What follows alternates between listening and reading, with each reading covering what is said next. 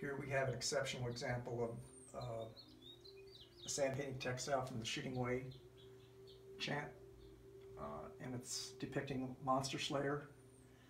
He is one of the hero twins, and these elements here represent flint armament that his father, the sun, gave him to protect himself from uh, the monsters that he was going to ascend to the upper world to, to slay. They were because they were preventing the Navajo from ascending.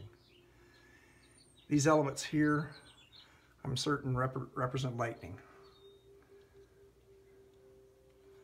And the, the arrows that don't have tips on them uh, represent spent arrows.